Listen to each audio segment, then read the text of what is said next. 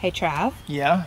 is there a reason that you threw all these tater plants in the yard? Yes, there is a very good reason why those tater plants are right there. Let me tell you.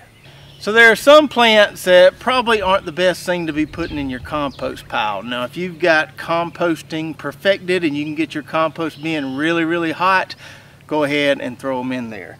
But tater plants tend to carry some diseases and you don't want any of those fungal diseases, spores and stuff overwintering in your compost.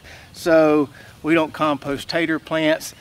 I'll put them in the burn pile sometimes or I'll just throw them out here in the yard like this. They'll get chopped up when I cut the grass later this week.